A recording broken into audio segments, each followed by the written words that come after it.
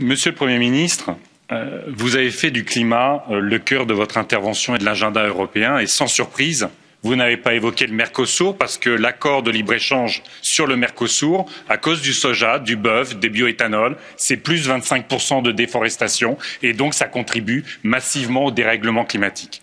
Pourtant, Monsieur le Ministre, Monsieur le Premier ministre, depuis 2000, ouverture de la négociation avec le Mercosur, c'est 5,5 fois la superficie du Portugal en déforestation sur l'Amazonie.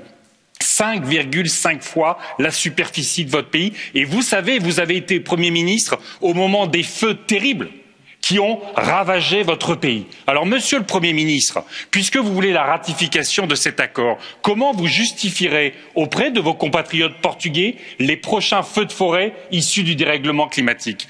Madame la Présidente, quand il y aura une nouvelle pandémie issue de la déforestation, de l'élevage industriel, qu'est-ce que vous direz aux citoyens européens?